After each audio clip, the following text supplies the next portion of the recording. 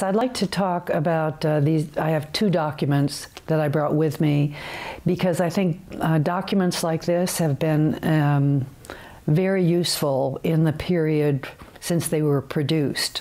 So the first one is, was the County Watershed Atlas uh, from 2003.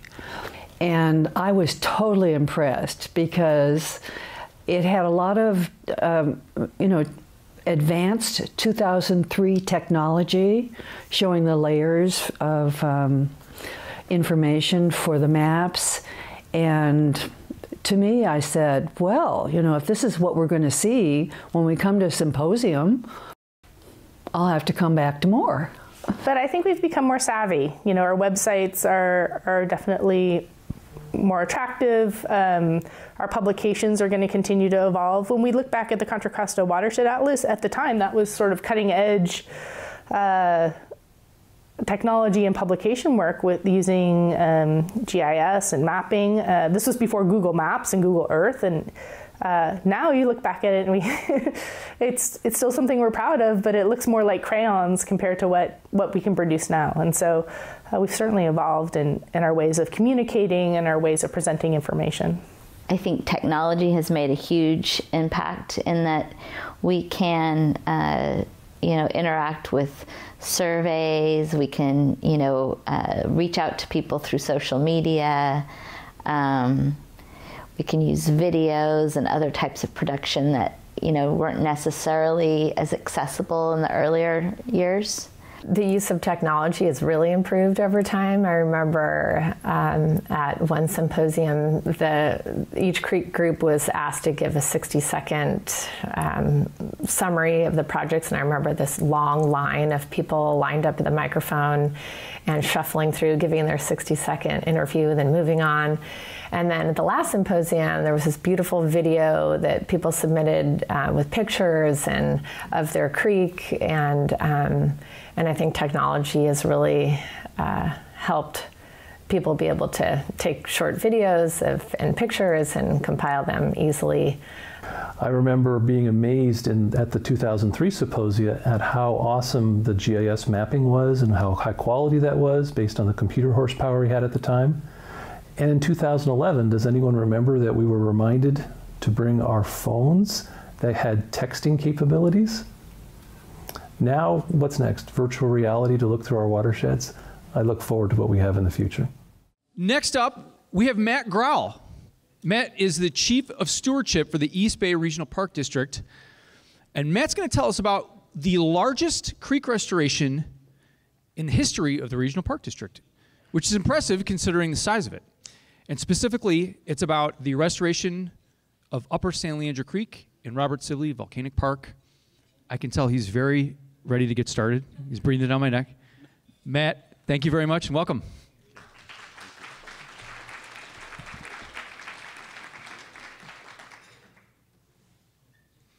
Okay.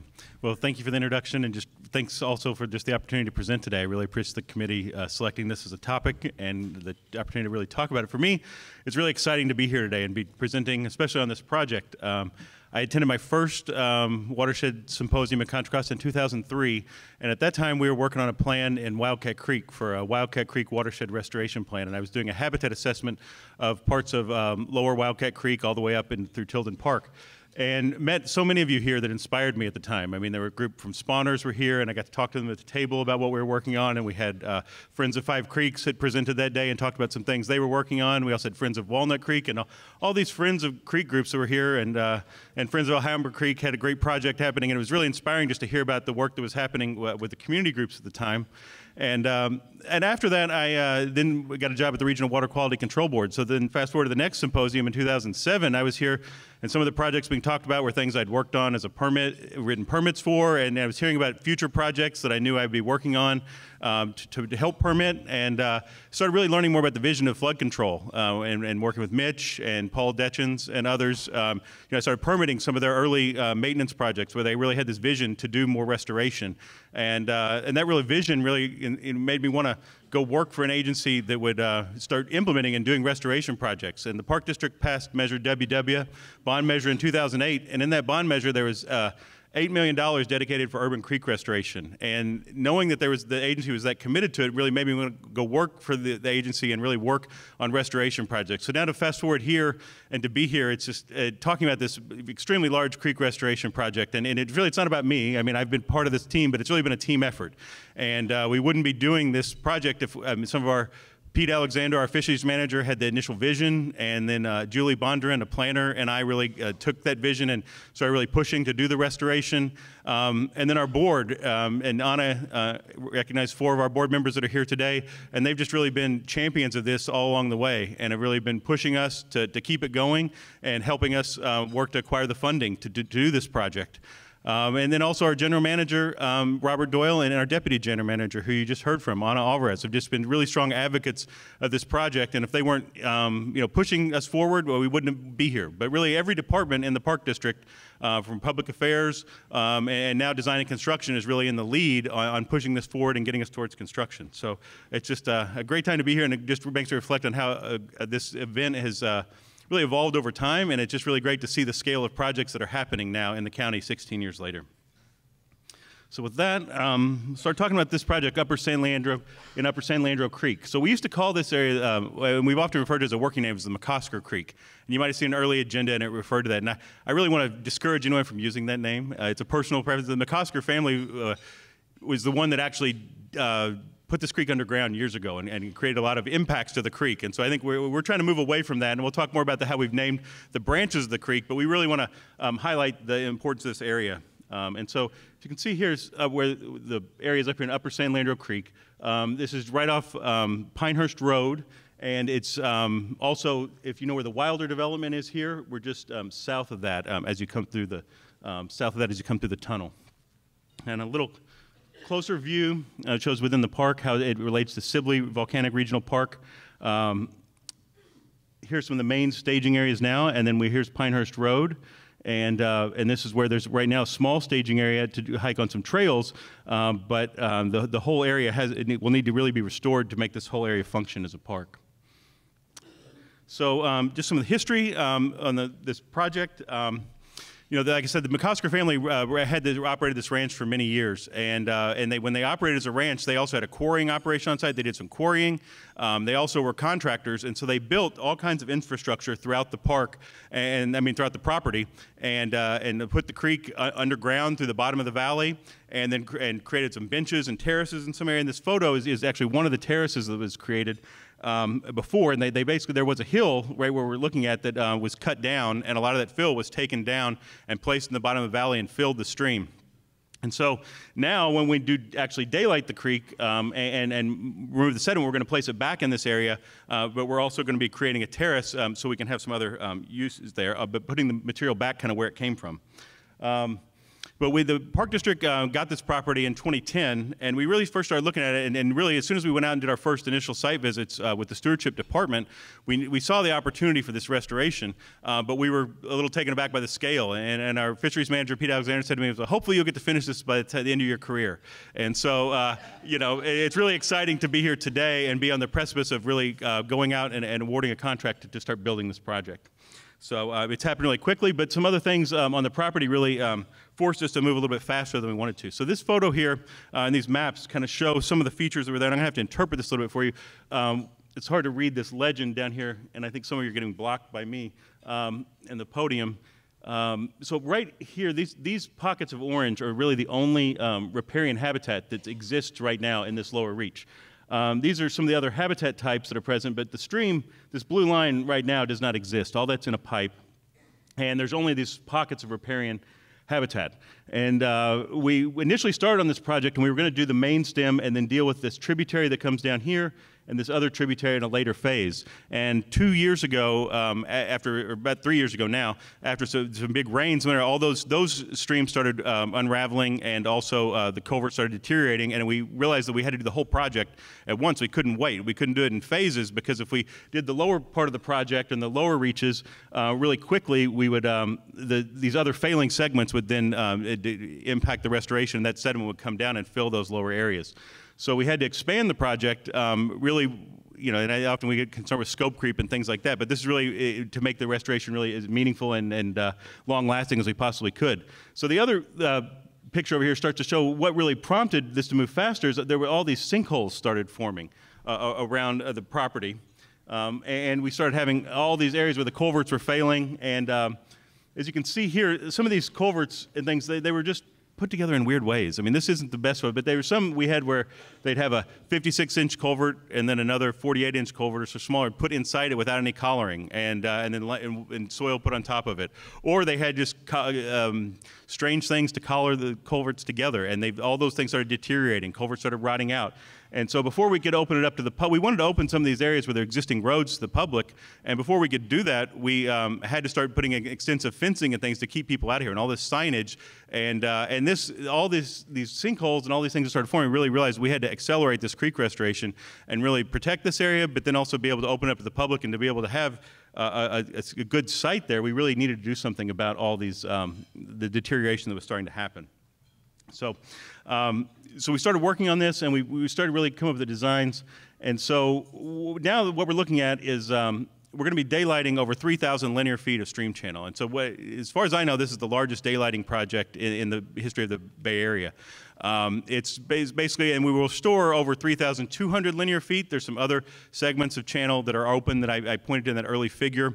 Um, but it's also going to create four acres of riparian habitat on the site, which is just uh, uh, truly amazing. Um, and there's great habitat in the upper parts of the watershed for whipsnake, and even in the upper parts of the stream, there's just a, a great uh, riparian canopy of a lot, a lot of madrones, um, also a lot of alders and, and, and, oaks, other things. And so it's just it's, there's good habitat above the property, and then there's also good habitat below this property in, in San Leandro Creek. So right now there are rainbow trout that migrate from upper San Leandro Reservoir and they get stuck at the culvert at the bottom of this property. And so they can't, and they, they even come onto the property a little bit, and there's a, but now there's a, a, a hole that they can get into. It's a, a pool.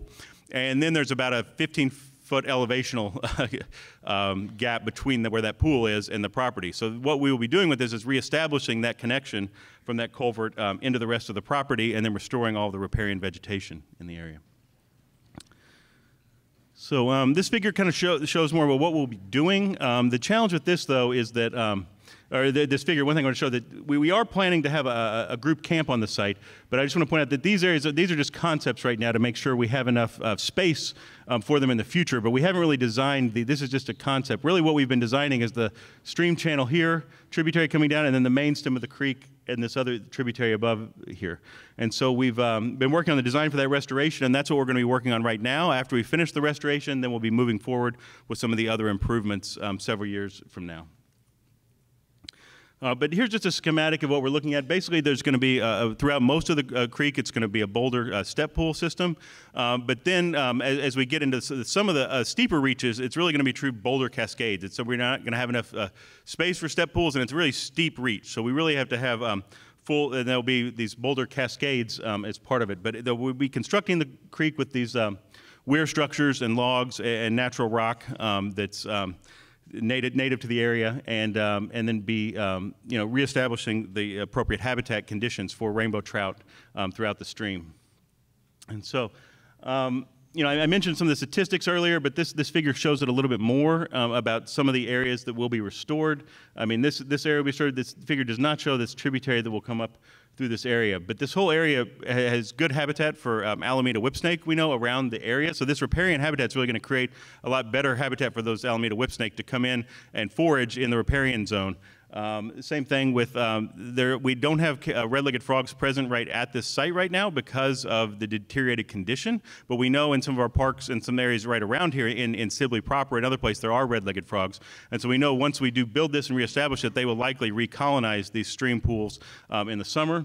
And, uh, and like I already said, we, we know rainbow trout are there, and as soon as we um, restore this, they will be coming onto the property because they're right there present in Upper San Leandro Creek. So it's going to be really a great expansion of habitat for all, for all these species, and, and not to mention the four acres of riparian habitat that will really support so many riparian birds and, and other migratory birds. So the project timeline, uh, we're, we're, planning to be construction. We're planning to be, start construction this year in the spring. Uh, we're planning to go out to bid um, in January, uh, and, and we we we did try this before, but the bids were came back really expensive last year. So we've tried to refine our uh, our, our, designs, and we've also and gotten some additional monies uh, that make us think that we're highly likely we will be able to uh, award the contract and start construction. It's going to be a two-year because of the scale of the project and the work windows. It will be a two-year project. Um, we're going to have to build it over two years. Um, but we really hope that um, you know in, in, four years from now, this is going to be one of our field trip sites, and we'll be able to go out and see the restored uh, creek and see what everything that's happening there. You know, the park di- park district really has a long-term vision with, with, this site, though, to become a real education center to educate people on creek restoration and to have school groups and other community groups to be able to come out and see the evolution uh, and the reestablishment of this riparian site. So, um, really hope to engage uh, all of you in the audience and um, other groups in the area to really help educate um, other generations and help uh, create um, there's really con- connections to these restoration projects. Okay, so one thing I have to acknowledge is uh, Assemblymember Rebecca Bauer-Kahan. So I talked about some of our funding challenges. Um, she heard about this project and got really um, excited about it and was able to go to the state legislature this summer and got us about $4 million uh, in the state legislature to help finish this project. So it was extremely exciting. Um, yes, thank you. Yeah. Uh, this was the single largest uh, amount we've ever gotten uh, from the legislature for a restoration project. So it's a very exciting um, and very um, important to us to be able to do this. But we, we wouldn't also, we have many other funders that are a part of this. We've got a, a River Parkways grant. We also got a State Coastal Conservancy uh, Prop 1 grant. Uh, we also got money from Urban Rivers. We have money from the EPA. And, um, and then we also have some other grants pending from the Wildlife Conservation Board and CDFW. And then to top it all off, we'll be using our bond measure money to, uh, to finish that, uh, the piece uh, and be able to put the full project uh, picture together. But it really wouldn't be possible to be moving forward this fast without that influx of money from the state in, in the last budget process. Okay, so yeah, and then here's just uh, highlight some of the more uh, members. I mean, I guess the other part of this is one thing we've done to, to move this forward is uh, Caltrans um, had a violation um, on, on Highway 84 um, and it did some things illegally there, and, and they had a violation they had to correct with the water board.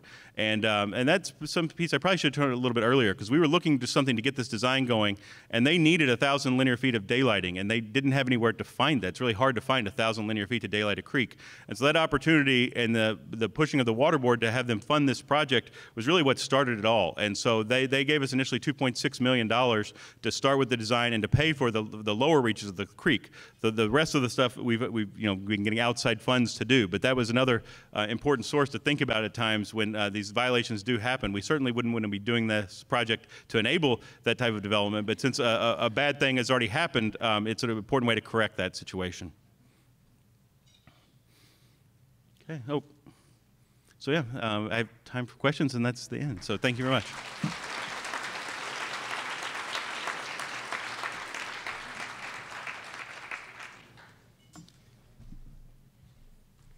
Matt, since you do not have your phone, I'm going to read some of the questions that we have on our app. And anyone else that has one in the audience. But to start, uh, there's a question Why did the Park District decide to exclude dogs from this area?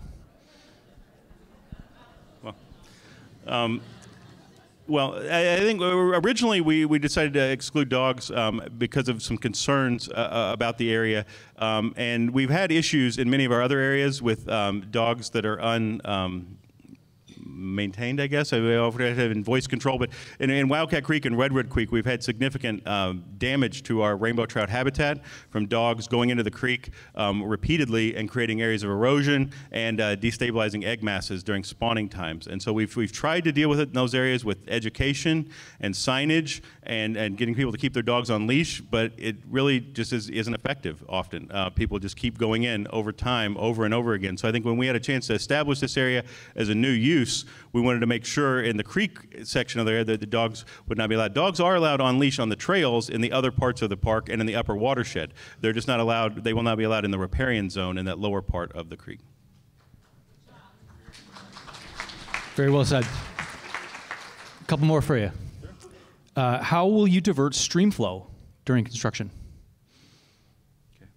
Yeah, yeah, we'll have uh, just a dewatering system will be put in during construction. There, there is pretty good base flow throughout the year, so we will need to have a dewatering system that will dewater the creek in the upper reaches and then um, transport that water down to, to San Leandro Creek around the restoration. Uh, but we will be doing it in phases. So the first phase will be done, and then we'll reestablish the creek in the, in the in, in, over the winter, and then the next season we'll start. Um, we'll do a dewatering during the construction season again. Got time for one more? Sure. Um, oh, they're coming in now. I'm gonna I'm gonna pick. Yeah. Uh, how will you? Oh, we just asked that one. How about? Uh, does the project provide water quality benefits to Upper San Leandro Reservoir? Oh, absolutely. Um, yeah, I mean, the, right now, if you saw those failing culverts and all the things that are happening with the failing infrastructure, there is sediment leaving the property and going down towards Upper San Leandro Reservoir. So this will, one, will stabilize that and create a stable channel so we won't have excess sediment from previous development going down into the, uh, the, the Creek.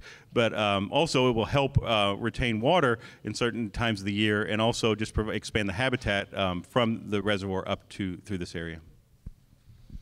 Okay, I'm going to let Matt off the hook. I know there's other questions, but maybe you can catch him uh, before he leaves. Thank you, Matt. Yeah. Great presentation. I appreciate it. Yeah. I, I, just want to say thanks, and I will be around all day and uh, towards the end of the day. So I really look forward to talking to more people about this project. Super passionate and excited about it, and just would be happy to talk more about it all day. So thanks. Thank you. And thank you for uh, for asking the questions uh, via the app. I know there was a few we didn't get to, um, but I'm going to move it along. And something special for you now, we've got a double feature. We have Ann Bremer and Sarah Puckett. Ann and Sarah have both participated in a number of restoration projects throughout the county. Ann works as a pro program manager for the Watershed Project, and Sarah is a consultant with American Rivers.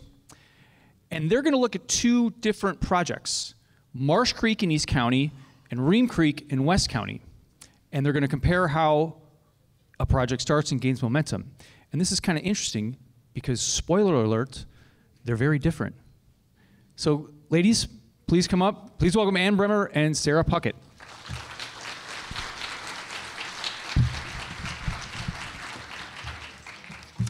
These come off if you want to take them off, whatever's easiest for you. All right. Hello, everyone. It's really great to be here. The Contra Costa Watershed um, Symposium is just such a great event, and thank you to Elisa for organizing it all. Um, my name is Sarah Puckett, consultant with American Rivers, and this is Anne Bremer with the Watershed Project. And I'm going to start today with Marsh Creek. So, why Marsh Creek and where is Marsh Creek? Um, Marsh Creek flows off the this is Mount Diablo right here, flows off the eastern slope of Mount Diablo through the rapidly growing communities of Antioch, Brentwood, and Oakley, and out to the Sacramento San Joaquin Delta, which is the water supply for two thirds of California. So uh, it's the second largest watershed in the county, and um, at the the Three Creeks project, which we'll be talking about today, is right in the heart of Brentwood. And then at the mouth of Marsh Creek is the Dutch Slough Wetland Restoration Project. And that's, here we go. All right. Uh, it's an 1,100 acre tidal marsh uh, restoration project at the mouth of the creek.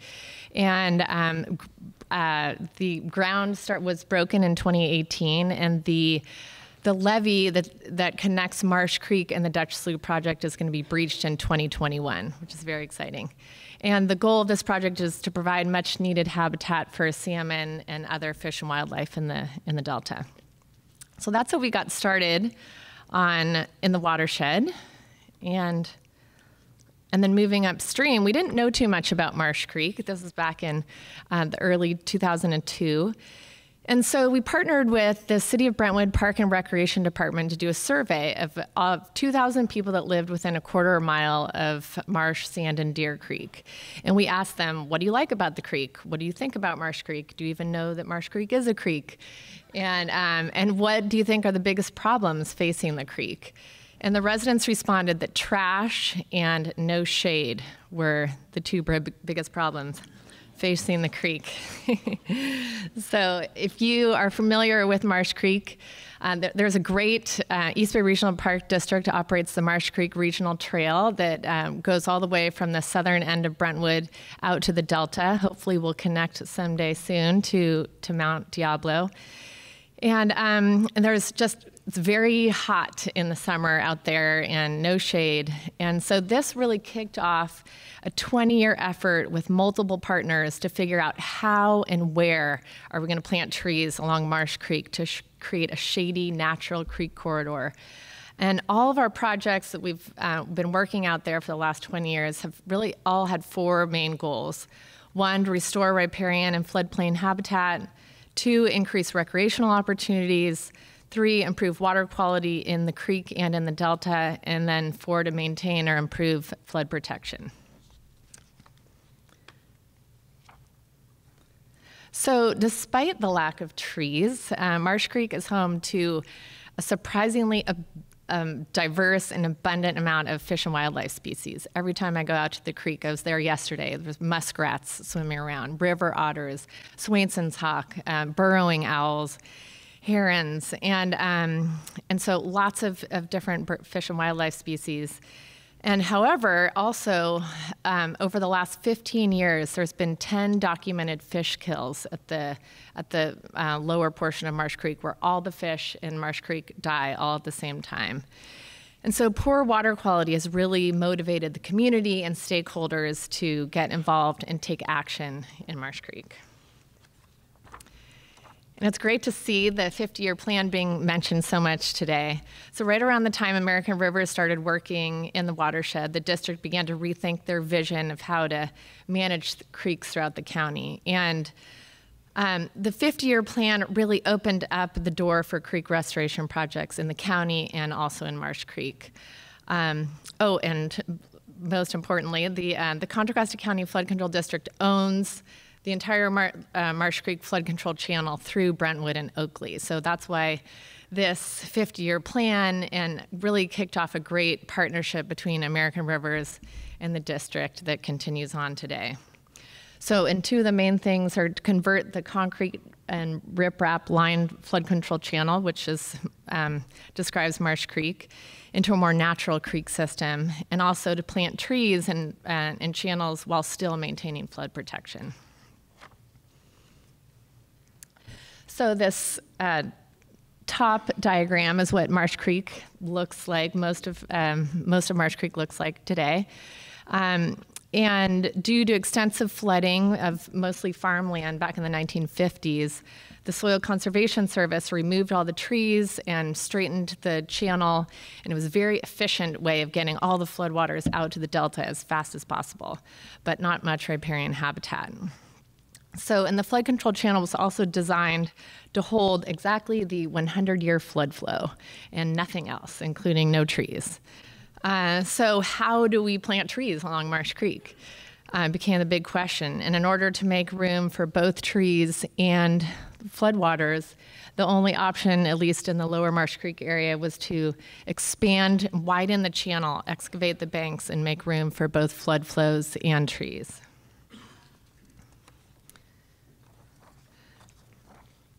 Oops. Sneak peek. Um, so then the question began well, where do we plant trees along Marsh Creek?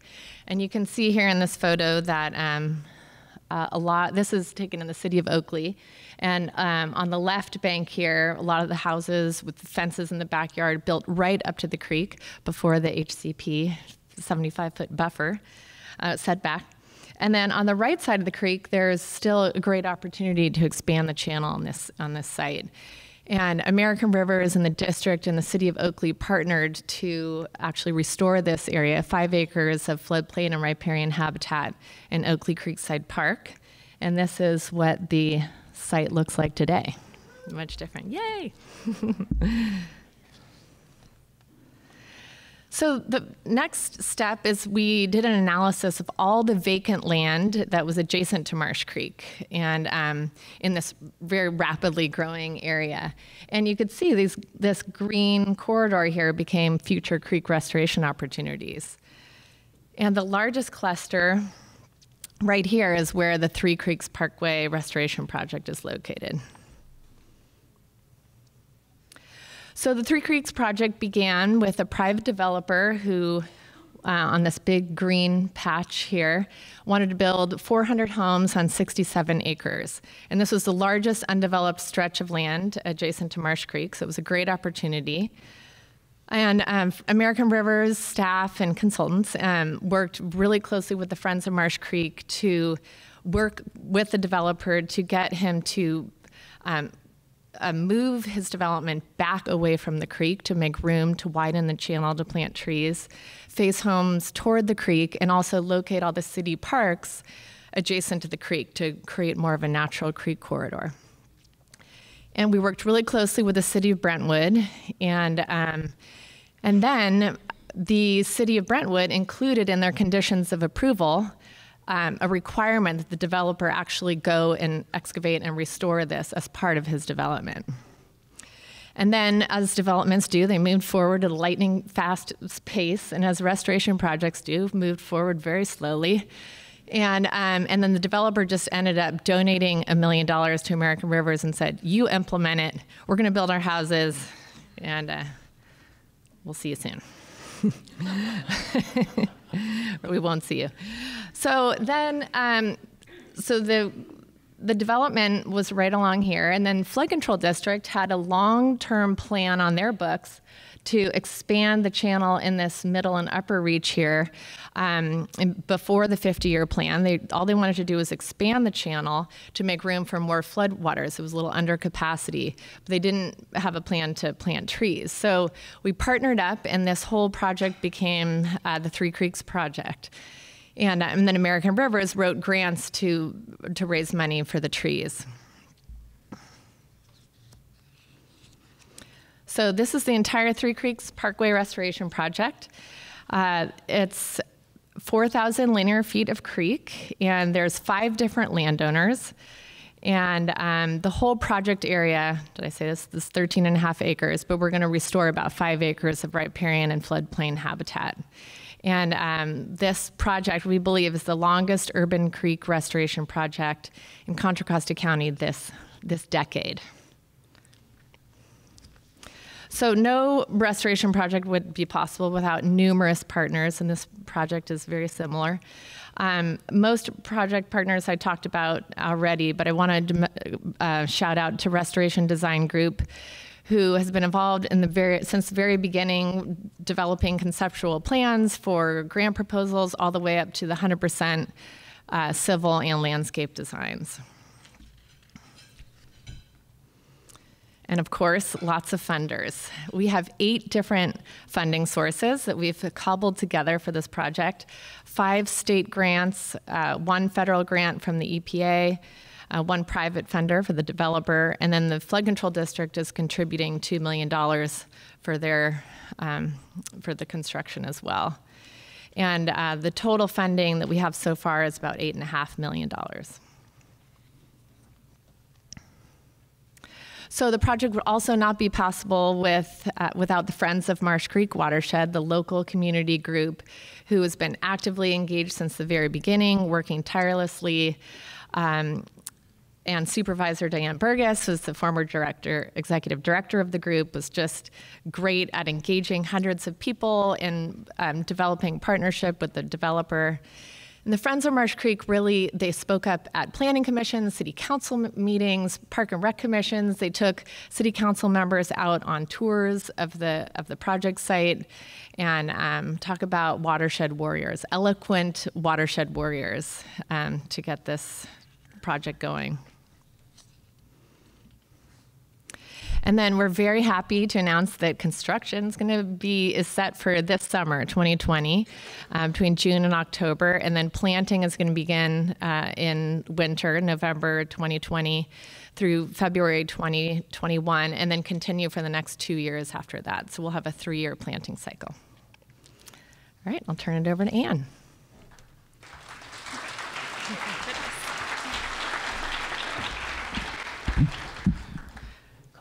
All right, thanks everyone. I'm going to take you on a little journey over to uh, the western end of the county, West Contra Costa County, and we'll see a little bit how these two restoration projects are very different, as was mentioned in the introduction, but they also have a number of similarities and hopefully things that we can all kind of take and learn from and apply to the other exciting projects happening out there.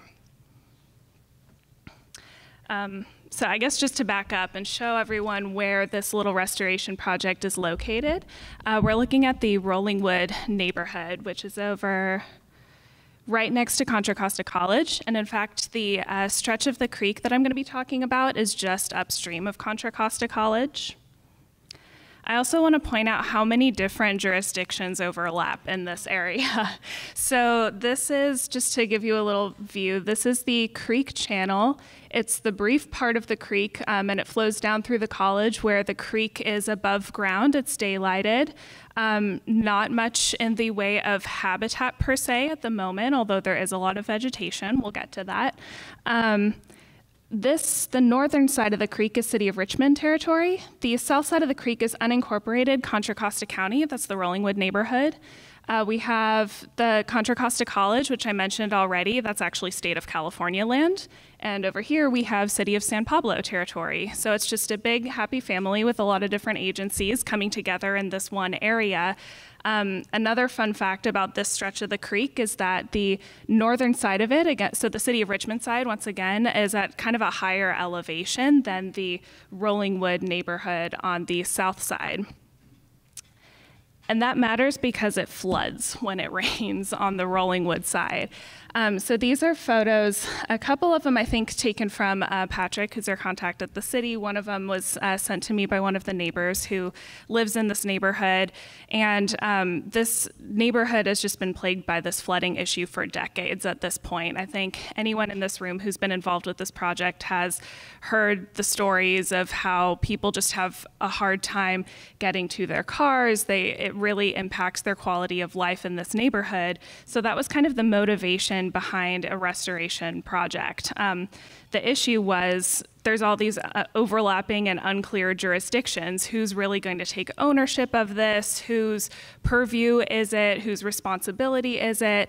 Um, currently, it's the responsibility of the homeowners to really kind of manage and maintain the creek, and clearly that hasn't been working out so well. So it wasn't until um, Patrick, who's here in the room with us with the City of Richmond, um, he'd been hearing about this from residents for a long, long time and sort of kept pushing and kept championing a restoration project in this neighborhood and looked for a way to involve some other project partners because, again, the city couldn't do it by themselves either. So they had to involve some other um, partners here to make this happen. Um, so again, City of Richmond kind of really championed the project. They're still actively involved. Uh, they gathered three other agencies who were the original kind of applicants for the grant for this project. Uh, there's the Watershed Project, uh, who I'm with, and we are the community engagement partner. So our job is to ensure that neighbors have the opportunity to really drive the project, to be involved at every stage, to have their voices heard, and to be involved in what's happening in their creek, in their neighborhood. Uh, Restoration Design Group, who again was mentioned earlier, and Rich is here with us today. Um, they're the design partner for, you know, so hopefully coming up with some solutions to what can be done about this flooding. And of course, American Rivers, who is the project manager, and they were the primary applicant for the grant. So the four of us came together, uh, received a grant, and from there, then involved also the rest of the agencies who you know, clearly also have a stake in what's happening here, and it's really important to have this collaborative effort when there are so many different um, agencies involved in the site. So we have uh, Contra Costa College, Contra Costa Public Works, and the City of San Pablo, who've also all been very active and supportive. Uh, being a smaller project at this point and much earlier on in our stage, we have one funding source right now. So we received a grant from the Coastal Conservancy for phase one, or kind of the planning portion of this project. And we're hoping that that plan will then set us up really well to apply for and receive some implementation funding afterward.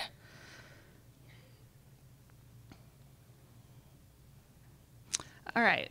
So, community engagement. Um, it was important to us that we involve the neighbors in this. Uh, in this area from the start. So we actually, and we figured that they know what's happening in, in their, around their houses and in their creek best. So we did a neighborhood flood survey. Uh, we went door to door and asked neighbors about how you know what their experience with the flooding was. We let them know that there was this effort happening. There was a project that is coming down the line in this creek. Um, same as Sarah, we you know there were some of them who weren't aware that there was a creek or that you know it was supposed to be a creek. Maybe it was more like a ditch. Um, so we let them know about the project. We interviewed them about their experiences with the flooding. So how often does it flood? Um, how high do the waters get? You know how does water travel through the creek and through the neighborhood? And what kind of impact does that have on the neighbors? Um, and we, it was important to keep that engagement consistent too. So we also uh, set up a neighborhood interest list. We've had several kind of partners, neighbors in this area who've been really interested and invested in this project. It's clearly something that they care very much about, um, who've wanted to stay involved. We also developed a web page that anybody from the neighborhood can go on anytime to kind of check out what's happening with the project. And then in this picture on the upper right, we also hosted a community work day to help kick off the project. So we were conducting a topographic survey of the creek channel to you know see a little bit more about how it's actually constructed. Um, and we involved neighbors in helping clear out some of the vegetation just to prepare for the topographic survey.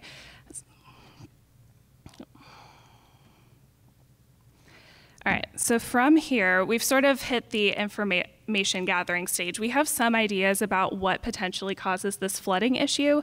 I mentioned before there's probably there is a lot of vegetation in the creek channel, so that it also causes a lot of sediment buildup. Um, it captures trash and kind of blocks the flow of water even more. It might even just be a question of it being a poorly designed or constructed channel in the first place. Um, so we now have a neighborhood flood survey, those results that the neighbors shared with us. We also have the topographic survey and our design partner, RDG, is kind of taking all of that information and coming up with some initial ideas about what we might be able to do in this area. Um, after that, it's our job to then kind of take those ideas back to the neighborhood and ask the neighbors for their feedback on what they want to see happen in the creek. So, as I mentioned before, there are clearly a number of differences between these two projects. Um, the motivation or the objective being the first one. So, again, in Rheem Creek, it was all about fixing the flooding issue. Um, that was the primary goal of the project. In Three Creeks, uh, they, there wasn't the same kind of flooding issue, but it was more just about habitat restoration, providing shade, providing a better you know, quality of life as well. Um, the surrounding landscape is also a big difference. So in Rheem Creek, uh, it's a very densely developed neighborhood. There's no setback between those houses and the creek. Um, the backyards are kind of right up against the creek, so it's it's just right in the middle of this neighborhood. With Three Creeks, um, there was an opportunity there because there were some vacant parcels right adjacent to the creek that provided this opportunity to widen the creek channel and restore habitat there. Uh, the initial engagement strategy was also a little bit different. Again, in Rheem Creek, it was very neighborhood based. We kind of started with that neighborhood flood survey, went knocking on doors, talked to the folks who lived right there. In Three Creeks, it was more about this very dedicated grassroots community group, Friends of Marsh Creek, um, as well as the agencies and the local developers who partnered with the city and the flood control district. So there was a little bit more kind of organized um, community group and agency effort there. Uh, the project stage, clearly. In Rheem Creek, we're just getting started. The project kicked off in March of this year, so we're still right at the information gathering stage. Uh, we're hoping to move into design. It's very exciting. Um, in Three Creeks, the project began in 2004, so it's been in the works for a long time. It's really exciting that it's in the approval stage and moving to construction uh, in summer 2020. And then finally, the role of a watershed council versus a watershed group. So in Rheem Creek, we've talked a few times today about the Wildcat San Pablo Creeks Watershed Council, um, and that body has met quarterly for 30 or more years at this. And that, um, again, we've kind of talked about what it takes to keep that momentum, to keep pushing and advocating. So the council really had a their consistency was a crucial part in keeping the momentum for that restoration alive. Um, with Three Creeks, they, there is no kind of comparable council there. Instead, there was this, again, Friends of Marsh Creek, a small group of very dedicated advocates that instead kept pushing, kept that momentum alive, um, as well as dedicated agency and district staff, of course.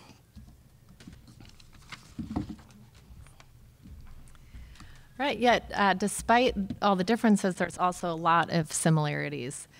Uh, both in the Rheem Creek and Marsh Creek watersheds, uh, watershed assessments were done in the early 2000s that were very detailed and thorough and identified restoration opportunities along both creeks. Um, in the Marsh Creek report, um, and then also the the, opportu- the corridor opportunity analysis, and then in Rheem Creek, it was the Rheem Creek watershed assessment and conceptual restoration plan. Um, both projects learned from previous restoration efforts. Um, both watersheds had large-scale uh, wetland restoration projects at the mouth of Marsh Creek, Dutch, or the mouth of each creek, Mar- Dutch Slough and Marsh Creek, and the uh, the Breuner Marsh, the Dotson Family Marsh at the mouth of Rheem Creek, and then also sm- smaller restoration projects, the Oakley Creekside Park I mentioned, and also the Marsh Creek Fish Ladder in Marsh Creek, and then the um, the Contra Costa College restoration project on Ream Creek. So these um, these projects help provide uh, prove the concept of restoration in these watersheds and also build local, local capacity for restoration. Um, also, a, a theme today throughout every restoration project we've heard from is support from local stakeholders and watershed champions. So, Friends of Marsh Creek Watershed, American Rivers staff have been involved since the very beginning, and also the district in Marsh Creek. And then on Rheem Creek, the city of Richmond being a big project champion, and also the Wildcat and San Pablo Creek Watershed Council. Um, again, a theme throughout the day collaboration with multiple jurisdiction, multiple partners. Um, but something that um, that I think is really important to mention is the the working across multiple jurisdictions. That creeks flow across land owned by many different landowners, and it's an ecological um, resource that knows no jurisdictional boundaries. So. I think it's important and it's overwhelming and a little scary to take on projects with lots of different landowners when you don't own that piece of property. Um, but I think it makes for a really successful restoration project when you can work across jurisdictions. And then lastly, just restoration as a solution, a solution for flooding problems, a solution for habitat and water quality. And that is it. Happy to answer any questions. Thank you.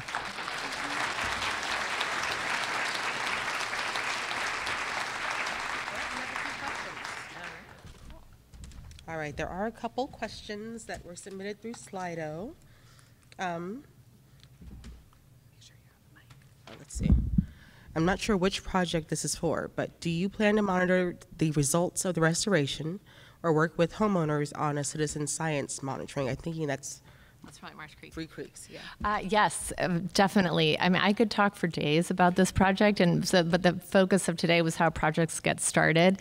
But there's a whole nother world of what's going to happen after the project. So, we're doing baseline water quality monitoring now, and we have a long. I think we have three years of funding uh, after the project is implemented to do water quality, vegetation, and geomorphic monitoring, and hope to involve community citizens scientists. Also, Earth Team, a major partner that's going to be a, a, partner moving forward. They're going to be helping with the planting and also um, engaged uh, Friends of Marsh Creek was going to be helping with planting and future monitoring both water quality and um, and hopefully salmon as well even though we're not really at that stage yet for Rheem Creek, that's definitely part of the discussions as well. We recognize it's an important part of any restoration project, and um, Helen is actually going to be talking uh, next about creek monitoring, so you'll see a little bit of how that works. But we're also hoping to involve neighbors in some sort of monitoring or maintenance plan for that project. All right, one more question. Um, and remember that if you see something on Slidos, you should be checking it as you go through because there's some good questions on here, and you can rank them to see which ones you're most interested in hearing the answer to. Um, let's see, this one is for maybe both. Does tree planting conflict with Army Corps funding requirements? And if so, how do you handle that? I think that that's probably more Three Creeks. Because you already have trees there. Well, wait, can you repeat that question? Is that, Does tree planting, con- oh, Army Corps? Well, fortunately, I've always been very grateful that the Army Corps is not does not own any of the creek channel in, in Marsh Creek, and it's the the Contra Costa County Flood Control owns the Marsh Creek channel, so the Army Corps is not. Um, doesn't have anything to do with. I mean, they permit uh, that we have to get a permit from them to do any creek restoration, but but they don't own the channel. So I hope that answered the question. I think so. All right, thank you both very much for your compare contrast of Rheem Creek and Three Creeks.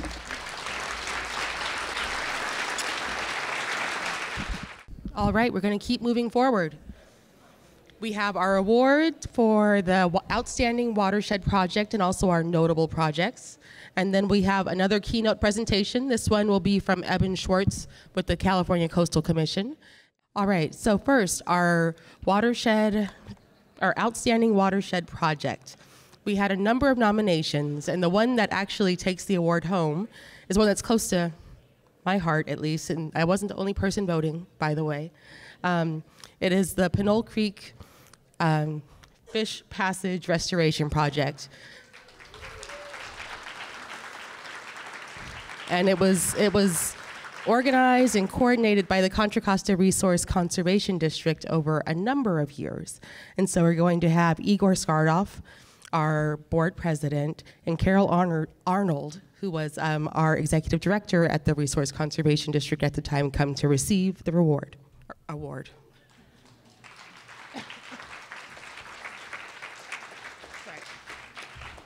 Gonna have you go to that side. You deserve it. And this is for But Igor wants to say a couple of words.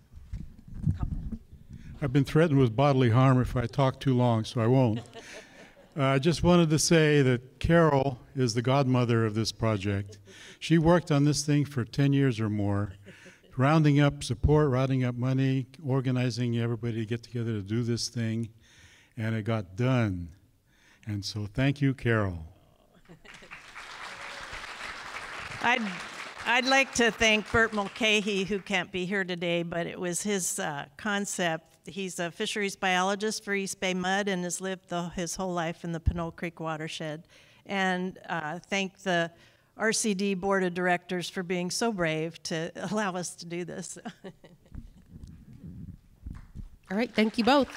And also, again, with the story of collaboration toward your project partners that you got to pull in, uh, the Flood Control District and Caltrans. I think there were two of the part- the big partners that you had to work with.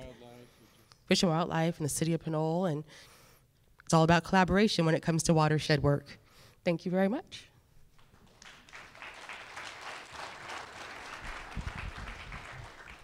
And we had a couple of notable projects that, again, they over the last four years, they just made watershed history here in Contra Costa County.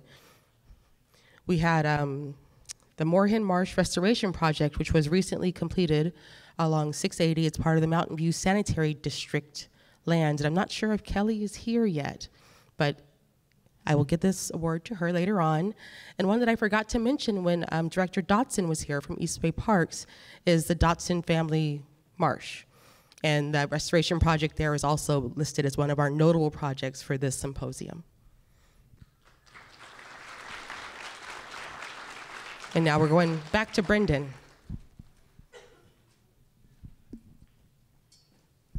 Thank you. Thanks to our award winners. And keep in mind, and, and thank you everybody for doing um, God's work with the slide app and all the questions that have been coming in. So when you're listening to the next presentation, keep them coming and we'll get to as many as we can. Now we're going to hear from Helen Fatanides. And I hope I said that right, Helen.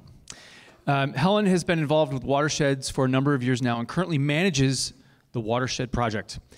Her programs teach the importance of water quality testing, are a familiar part of the Watershed Forum's regular meetings, and she's going to talk to us about why testing is very important and how the Watershed Project is standardizing it with the county. Helen, welcome.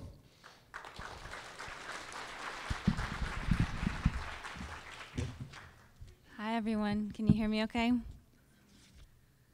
So, today I'll be talking about the current water quality monitoring programs at the Watershed Project, and also a couple of upcoming new programs for this next year.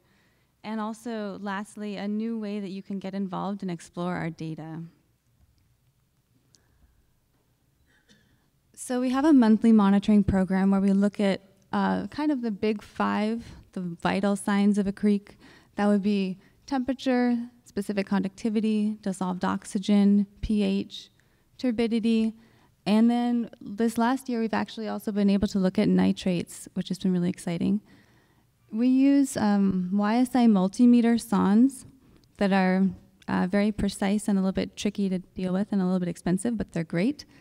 And we have trained monitoring technicians that take these out in the field, and then we also involve the community, students, anyone who wants to come with us as well. So these are the sites where we monitor monthly. You can see there's kind of there's a range of sites here. Um, starting in West County, we have San Pablo, Rheem, and Wildcat Creeks.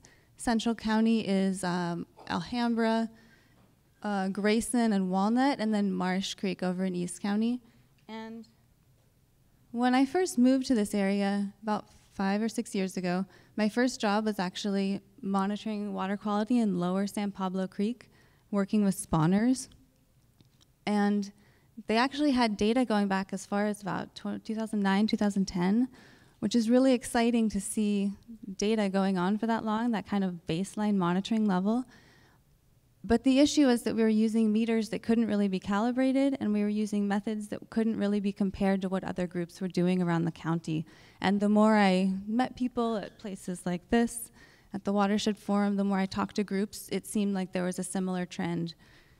And what I really wanted to do was to standardize things so that we could still do that community level monitoring, um, but we could make our data we, we could use our data. We could have other people actually use our data. So we do calibration before we go out each monitoring day, and then we also check accuracy after the event. And this data sheet was put together with the help of Revital Katznelson, who used to be with SWAMP, the Surface Water Ambient Monitoring Program, and she was with the Clean Water team. And this is a really important part um, to prove that your data is is good and accurate. This is our monthly monitoring data sheet. It's a little bit involved. There's a lot of information up top. In the middle, there's an observational section, and this can be done without any equipment at all. It can be done by someone who lives on the creek and sees something weird, and then that data can be actually compared to the data we take every month at these sites. And then you can see as well in the measurement section, we have two columns for our results. So we actually get a couple of readings per parameter at each site. And this allows us to look at um, data precision in the field and actually know that our, that our meter isn't wandering or doing anything weird.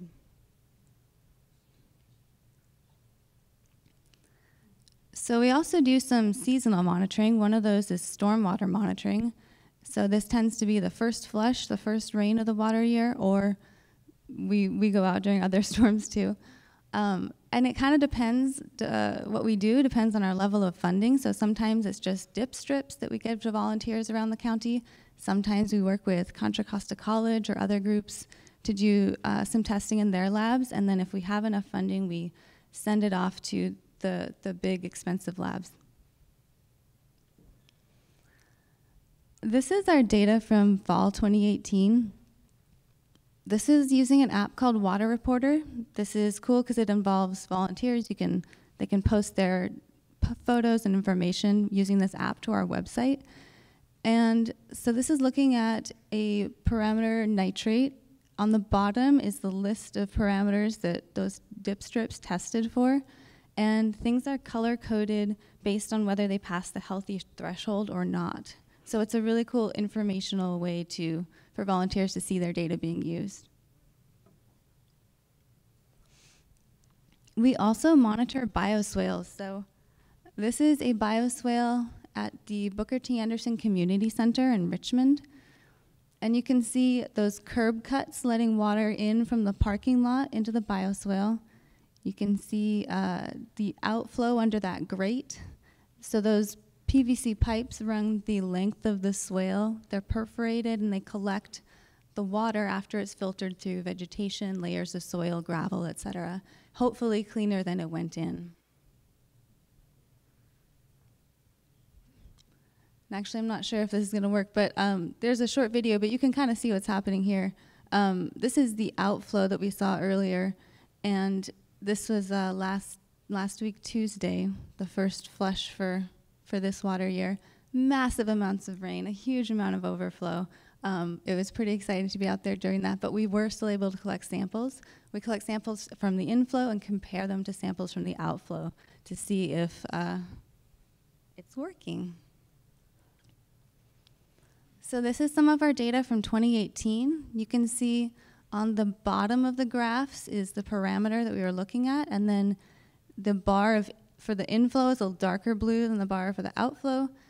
And looking at diesel and motor oil and metals in particular, we see at least 50% reduction from the inflow to the outflow. So that was pretty exciting. This is just one data point, and we'll continue to monitor. It'll be interesting to see how this looks over time. And then, um, depending on funding, we also look at uh, pesticides, PCBs, pyrethroids, and uh, other things like that that tend to be more expensive. This is our stormwater monitoring crew at a training recently, and you can see on the photo on the right, uh, one of our former staff members, Nikki, is really excited to see all the dirty water entering the swale. So this is my favorite thing to do in creeks, um, is look for bugs. So benthic means bottom dwelling, macro means you can see them with your naked eye, and invertebrates means they don't have a backbone. And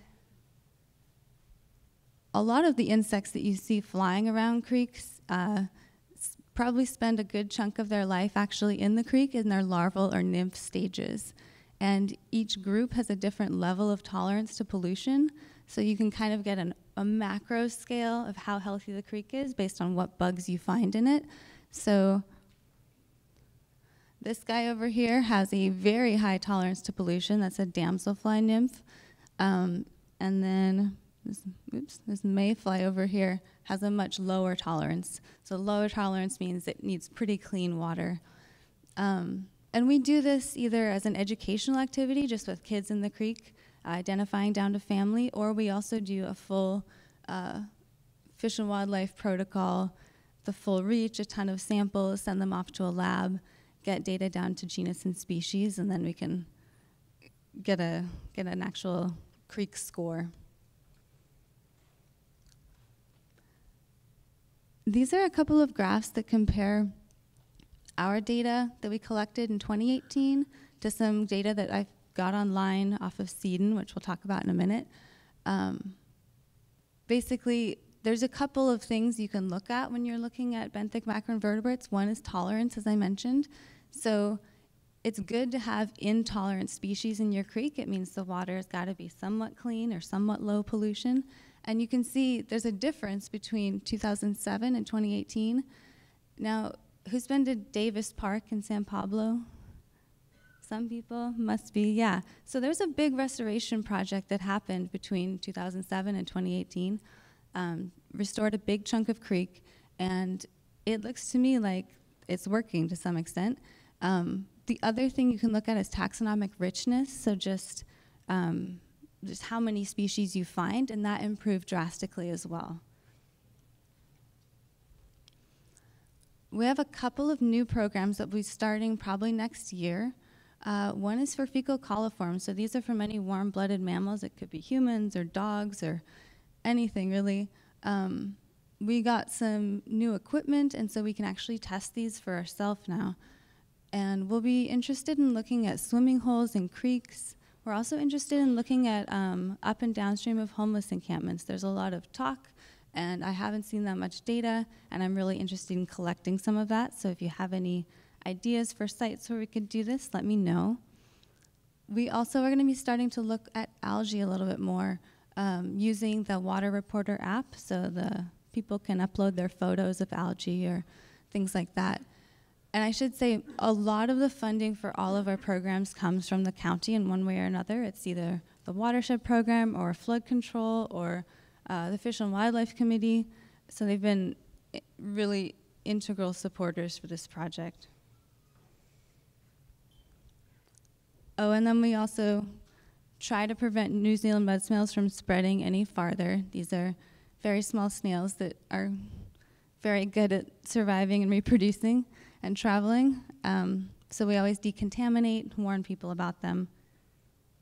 And uh, yeah, they're, they're getting around. So our data collection methods are designed to fit into CEDEN. So that's the California Environmental Data Exchange Network. And this is a place where it can be used by regulators and professionals. It is a small feat to get data into CEDEN. There's a lot of codes and a lot of very specific language that you need to use. Um, and it was a goal of mine with this program starting was to get our data into CEDEN. Um, and I think as important as it is to make sure our data is useful to regulators and professionals, I believe it's also important to make it understandable to the public. And that is why we have put together an interactive and educational site where people can explore our data as well as the data of other people and learn about creek health. Um, this was done as of this week. our partners uh, were FlowWest and their nonprofit arm, which is Intelligent Ecosystems Institute. And we got funding from California EPA and from the Rose Foundation. And I'm going to take you on a little walkthrough, but the uh, website is down here. It is live now if you're interested in checking it out. I did not want to anger the technology gods by uh, trying to do a live demo. So these are screenshots. So the main page has a little bit of welcome about our project. It has some little buttons where you can learn about water quality features. If you click on one of those, you get a little uh, pop-up screen. For instance, it'll tell you about nutrients and how high nutrients can cause dead zones. It'll tell you about the differences between the different kinds of nutrients. And then if we scroll down, there's a map that shows all of the sites that the Watershed Project collects data, as well as sites that we pulled from CEDEN, where there's a lot of data being collected by other people. On the left, there's a list of creeks. You can either click on a watershed or click on a creek on that list. I'm going to click on San Pablo Creek.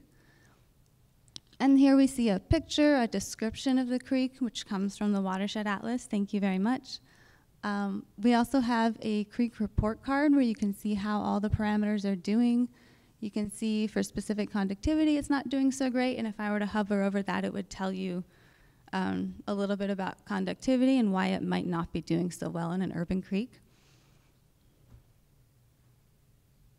If we, so you can explore sampling sites. I'm gonna, I'm gonna choose the site that's farthest downstream. It is at the El Sobrante Library over here. So if I click on that, um, you can see uh, a little bit of information about that site in particular. Um, and then we can select different water quality features or parameters. In this case, temperature is selected. And what's really cool and what I had not been able to do in different apps in the past is to look at this site versus other sites in the watershed. And so down here, you can click on which sites. So those are all the sites we monitor in the San Pablo Creek watershed.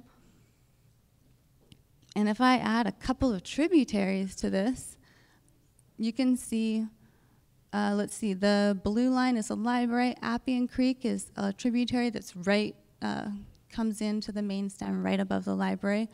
You can see those are pretty close together in terms of temperature. Lauterwasser Creek, however, is much farther upstream, and you can see it has a much lower temperature, which makes sense. It's closer to the headwaters. It probably has a lot of shade.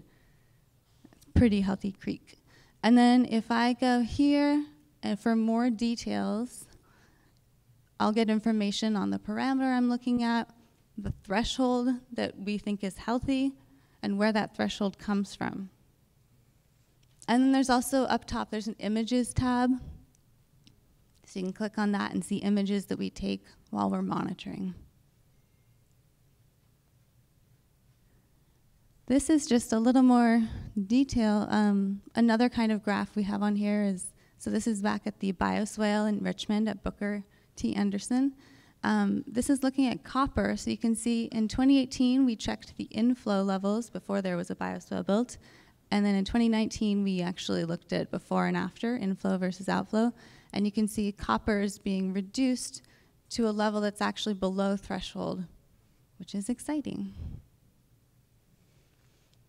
And then we also have data from other people, and this is pulled off of CEDEN, the database. And this um, has been going on much longer, so you'll often see a lot of data over the years. And there's a click and drag component, so if you want to take a closer look at any of that, you can just basically select it and it'll zoom in and you can see more information.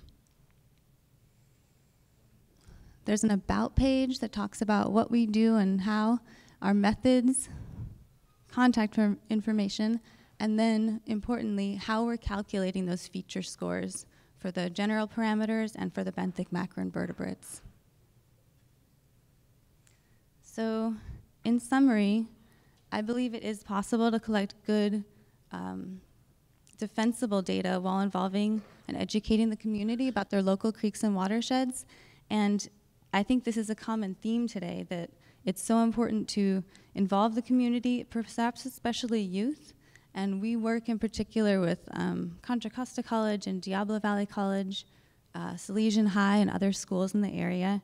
And I am consistently impressed by the interest of these students and how they want to get involved in making a difference in their natural areas that they're surrounded by. And they just need a chance.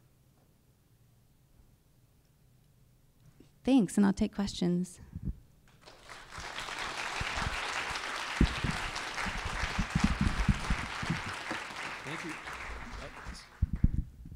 This one's not on. Thank you. Thank you for saving your voice for us today. Oh, there were two questions. Where'd they go? Oh, I have them. Okay, the first question is algae is not bad per se.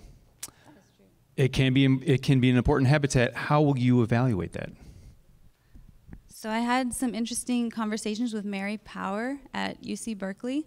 Um, she told me some preliminary ways that we can get an idea of whether the algae is good or bad. And then um, once we get some data, I'm going to be working with her students to do that. So yeah, we want to know where the algae is so we can go out, take a look, and, uh, and figure out if it's good or bad. Because yeah, algae is a good thing. Nutrients are a good thing. It's just all in moderation or at some level.